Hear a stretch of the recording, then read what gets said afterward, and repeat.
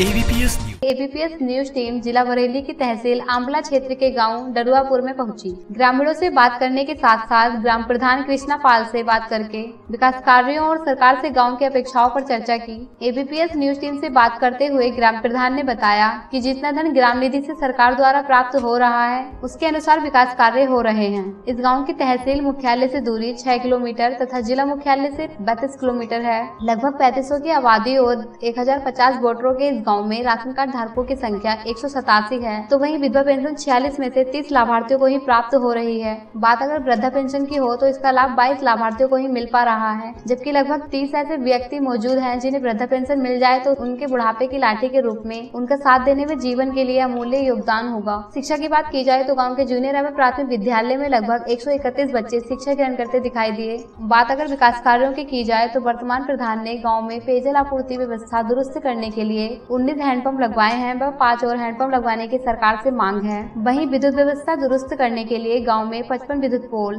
तथा एक विद्युत ट्रांसफार्मर व 45 स्ट्रीट लाइटें भी लगवाई गई हैं। साथ ही साथ गाँव में खडंजे, सीसी टाइल्स रोड, प्राथमिक विद्यालय में शौचालय, जूनियर हाई स्कूल की बाउंड्री, प्रधानमंत्री आवास योजना के तहत आवास व स्वच्छ भारत मिशन के तहत शौचालयों का भी निर्माण कराया है। वही सरकार से इस गाँव की मांग है की उन्हें पंचायत घर, आंगनबाड़ी केंद्र, स्वास्थ्य केंद्र, शमशान घाट, बड़ा नाला, पैंतीस प्रधानमंत्री आवास तथा दो सौ शौचालयों का निर्माण कराया जाए।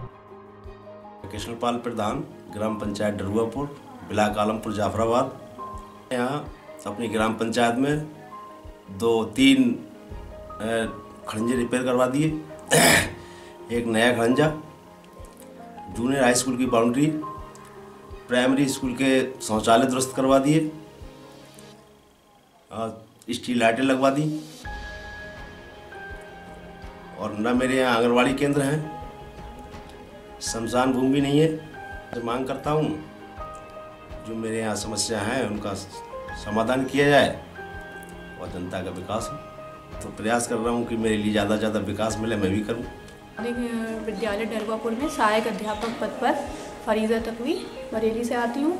हमारे यहाँ हेडमास्टर सर को मिला के तीन टीचर्स हैं, दो सहायक और एक हेडमास्टर सर यहाँ पर हमारे जब हम लोग आए थे, जो इक्कीस बच्चे हैं हमारे यहाँ पंजीकृत, जब हम आए थे तो बाउंड्री नहीं थी तो बहुत दिक्कत होती थी, बच्चे जा रहे हैं या कोई भी अपना सामान बाँध दिया उन्होंने, कुछ भी डाल दिया ला के लेकिन जब ये बाउंड्री हुई है उससे बहुत ज़्यादा सब कुछ व्यवस्थित हो गया है, बहुत अच्छे से पढ़ाई हो रही है। उस वजह से हम फुलवारी वगैरह भी लगा पाए हैं, और किसी जानवर का या किसी भी बाहरी इंसान के आने का हमें अब डर नहीं है।